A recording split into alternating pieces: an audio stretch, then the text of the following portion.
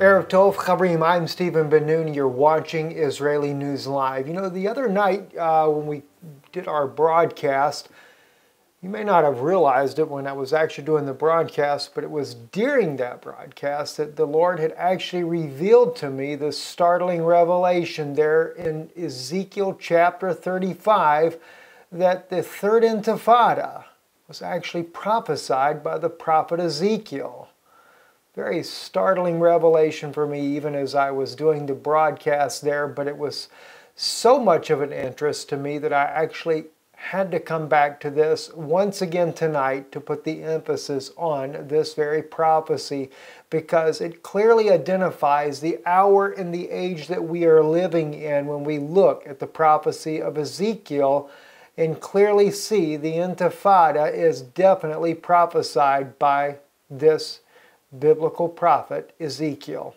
Let's move on right into this and we'll look at that again. Ezekiel chapter 35, verse 5, it says, Because thou hast had a perpetual hatred and hast shed the blood of the children of Israel by the force of the sword in the time of their calamity.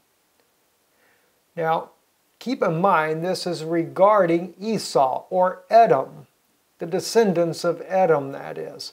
Now, there's two folds in this. When it speaks here, uh, have, he has shed the blood of the children of Israel by the force of the sword.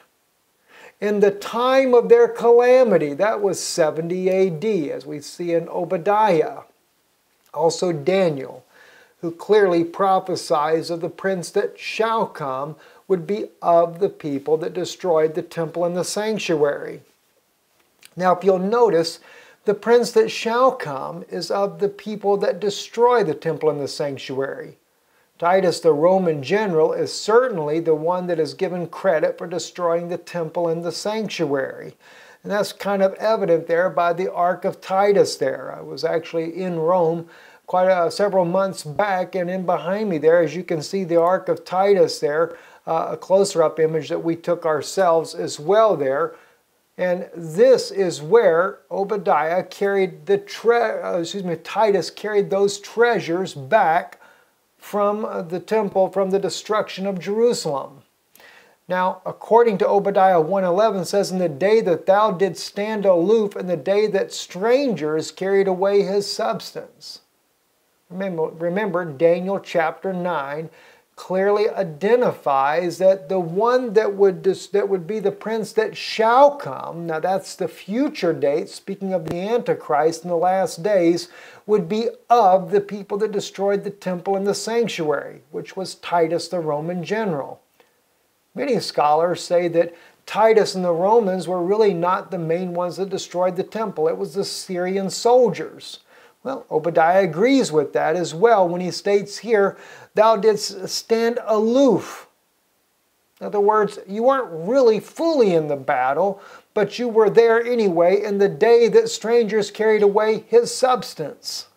And foreigners entered into his gates and cast lots upon Jerusalem. Even thou wast one of them.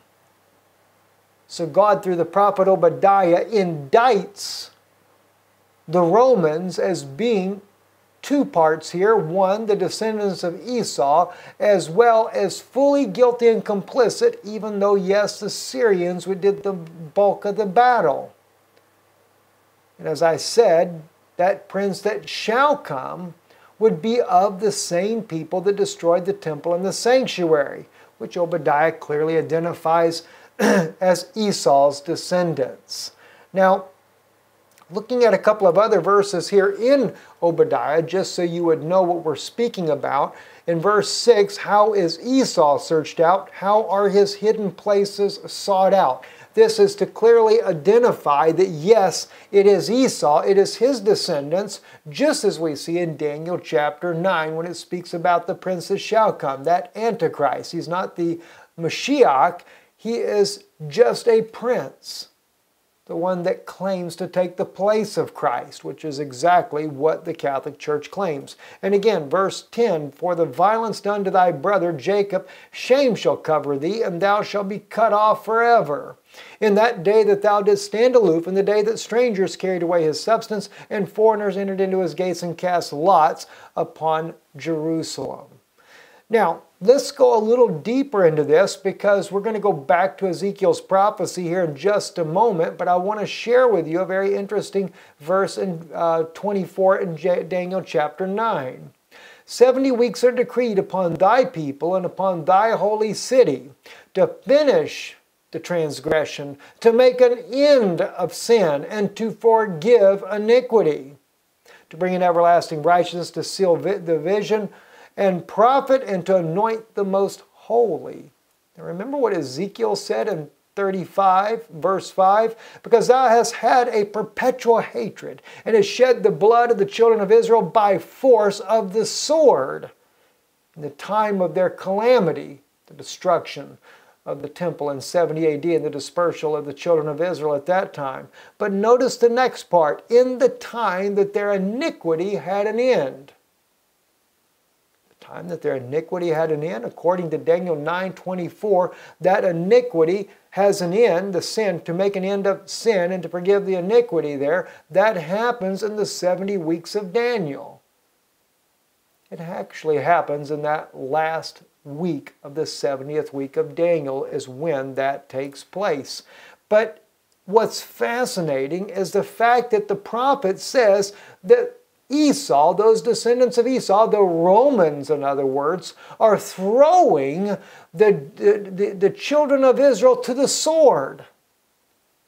They were thrown to the sword at the time of the sword of the Titus, the Roman general, and his Syrian soldiers. And in the days that we're living in now, it's no different. Rome is still unified with the Arab nations surrounding Israel and still using the Arabs in order to bring the sword against the children of Israel. And in fact, the first and second intifada, it was fought with guns. In fact, 1948, the Independence War fought with guns.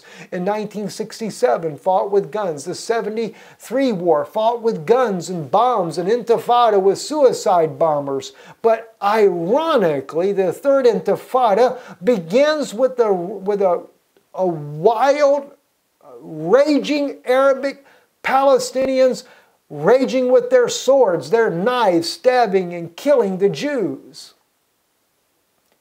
Why? Why was the weapon of the knife chosen? Some might say, well, they wanted to strike fear into the Israelis. But see, the prophet Ezekiel had prophesied that they would be thrown to the sword. And of course, we could say that the bullets and stuff is still a type of that, but God wanted to let you know when the time came that their iniquity had an end, when their sin would have an end, according to Daniel chapter 9, 24, that we are seeing the very time frame and when the two witnesses will arrive to reveal to them their Messiah, who Mashiach really is, according to my Jewish brethren, the time of Eliyahu, Elijah the prophet coming, according to um, um, one of the great uh, biblical scholars of, of the Jew Jewish people there, uh, Rashi, stated that even Moses would return in the Messianic age to fulfill those prophecy of, of Exodus chapter 15 where he says, ga'aga'o uh, beyom. I will sing unto the Lord that he's gotten victory over the horse and his rider and he has been hurled into the sea. That's that prince that shall come, the Antichrist spirit, to say the least, there. Let's kind of look at a few other things I wanted to share with you that I thought was interesting. If we go back and look at how this is kind of built up, just kind of a little fast pace here. Kerry sets a nine month goal for East peace talks. This was reported by CBS News on July 30th, 2013.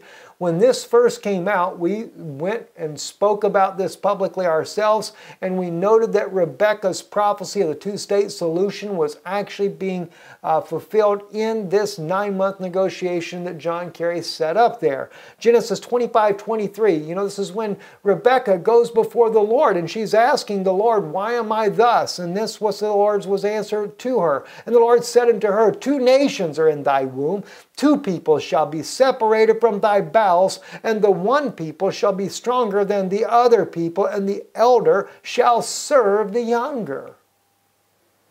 Isn't that fascinating? Esau and Jacob was the, were these two children and the elder shall serve the younger. Now, some people might think that the nine month negotiation here has something to do with the two state solution regarding Israel and the Palestinians. But in reality, according to what really went on, the two state deal is between the Vatican. The negotiation was between the Vatican and Israel. This is the true Esau and Jacob.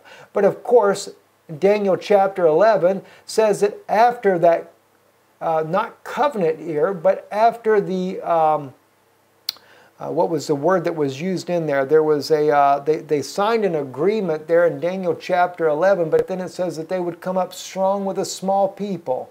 See, that, that particular uh, agreement that was signed was signed with the uh, with the Jewish Congress, and now the Vatican is rapidly gaining uh, victory through the Palestinian people. But truly, it is Esau and Jacob where this nine month negotiations is. But of course, the Vatican, to ensure that the Palestinians get what they would like, they're going to throw in that nice little two state deal in there for them.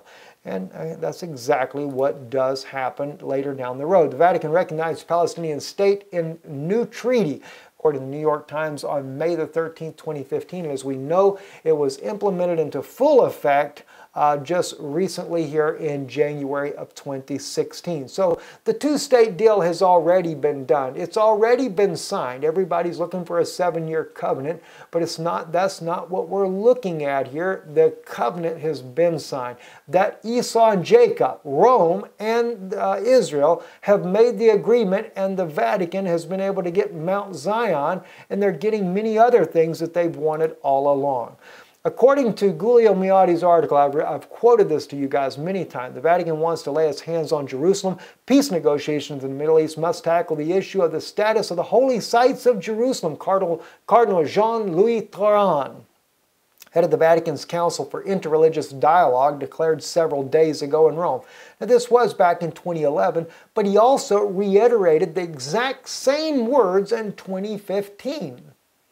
All right, now not long after this was issued in December on the 15th, on the 18th, if you guys remember, in a recent uh, news broadcast that we brought out about Hillary Clinton's secret emails being revealed uh, during this investigation that's going on about Benghazi, we find out that Hillary Clinton's aides were encouraging her on the 18th of December of 2011 to, uh, to cause a protest among the Arabic women in, uh, of the Palestinians to get the Jews forced back to the negotiating table. So it's kind of odd that the that Tauran states this uh, or states these comments in here about the holy sites coming under their control, and then a few days later, Hillary Clinton is being egged on by her aides in order to start protest by the Palestinians. Let's read on. The Vatican's former foreign minister asked to place some Israeli holy places under Vatican authority, alluding to the uh, Cenacle of the Mount Zion and Garden of Gethsemane at the foot of the Mount of Olives in Jerusalem. The first uh, also houses wh what is referred to as King David's tomb. Now, this is what Tauran says here. This is the critical statement that he stated here then in 2011 and he has well stated again here in 2015 just recently. There will be no not excuse me there will not be peace if the question of the holy sites is not adequately resolved. This is what Tauran said. There will not be peace. Now why would there not be peace if they don't adequately resolve the issue of the holy sites for the Catholic Church well, you don't see any of the priests out there wielding a bunch of knives and stabbing the Jews. But nonetheless, according to the biblical prophecy of Ezekiel 35, it is Esau that is put to the blame of the sword in his hand against his brother Jacob. Remember, he comes up strong with a small people, according to Daniel chapter 11. That's the Palestinians. In Rome, just like the United States and Russia and many other nations always use other nations to fight their battles, well, Esau, Rome in this case, just as he did back during the destruction of the temple in 70 AD, was using the Syrian military in order to be able to destroy Rome or destroy Israel and do his dirty work for him. The Vatican is still doing the same thing today. Cardinal Tauran said there will not be peace if the question of the holy sites is not adequately resolved. And so what has he done? Just like his forefather Titus, the Roman general, he has contracted the Jordanian so-called Palestinian Arabs to wage war against Israel with the sword, just as the prophecy of Ezekiel 35 is actually stated. Anyway, the part, uh, the part of the Jerusalem with the walls, with the holy uh, sites of the three religions is humanity's heritage. The sacred and the unique character of the area must be safeguarded, and it can only be done with a special international guaranteed statute. Another thing Tauran stated there. Unbelievable. Anyway, something else I wanted to bring up to you uh, in this article, the Israeli government and the Vatican are deadlocked in discussions over the status of the religious sites. Vatican officials are now reiterating their demand for control over the religious sites in the ancient holy city founded by King David as the capital of ancient Israel and now the capital of reestablished Jewish state. Danny Ayalon, Israel's deputy foreign minister, declared that Israel might consider giving the Vatican a greater role in operating uh, the sites. In the last weeks, the Roman Catholic Church Authority increased their political initiatives for Catholic control over some sites in Jerusalem. Why is Danny Ayalon siding with the Vatican, knowing that Rome is Israel's greatest enemy. Esau is, many Jews, many Orthodox Jews call them Esau. Well, very interesting to say the least there. Israel and the Vatican on the verge of a historic agreement, uh, agreement here. This was printed on January 31st, 2013. And my apology, I meant to put the, uh, okay, I believe, okay, it looks like it was on Israel Hayom. Uh, was the was where it was published at. Uh, I, I thought I had put it in the headline there, but I forgot to do that. I apologize for that. Anyway, one of the most contentious areas was dispute over the cenacle, traditional site of Jesus' Last Supper on Mount Zion in Jerusalem. According to the agreement, Israel did not give up sovereignty over it, but will allow the Vatican control over the site, Israel Hayom reported. Now, the thing is, they did give up Mount Zion. And they do have, the Vatican does have full control, as it was shown by the fact that one, which I would have not have had a problem with the Vatican doing a communion in the upper room, but a week or so later, the Catholic Church came in there and held a communion service inside King David's tomb and threw all of the Jews out of the tomb using Israeli special forces to do so. I tried to do an interview there with the rabbi there that's over the temple, uh, King David's tomb there. Uh, they were afraid to speak to me on camera because of the tensions over the Vatican's control of Mount Zion. Very interesting to say the least. This agreement is real upgrade in relations between Israel and the Holy See and between the Jewish people and the 1 billion Catholics around the world to benefit both sides, Ayalon added. Well, isn't that nice? Mr. Ayalon, why are, are you a traitor to the Jewish people? Why have you sold out to the Catholic Church? Well, this may explain it all right here. Mr. Ayalon married uh, this young woman here, his wife, Anne. Both Daniel Ayalon and his wife, Anne, are intimately involved with the evangelical and Catholic communities and have com comfortably appeared on missionary television and has a significant business and real estate dealings with the Christian community and was listed as the talking head for the Pope's visit on Christian-Israeli relations. In a pamphlet put out by the Israel Project TIP at the time of Pope Benedict XVI's visit in May of 2009. I guess that explains a lot of it right there. If you got business with the church, you're going to do what the church says or else. So, as we stated here, though, Tauran said there will be no peace unless everything is resolved adequately. I guess there's not, everything's not necessarily been resolved quite as adequately as thought. No wonder why the prophet Ezekiel said that Esau was throwing his brother to the sword. Not only at the time of their calamity, when Esau used the Arabic nations to come and destroy Israel as well as their temple, but also in the time of their iniquity, that it had an end. According to even not only Ezekiel's prophecy of 35:5, but also of Daniel chapter 9, verse 24. The time that their iniquity has an end is about to be upon us.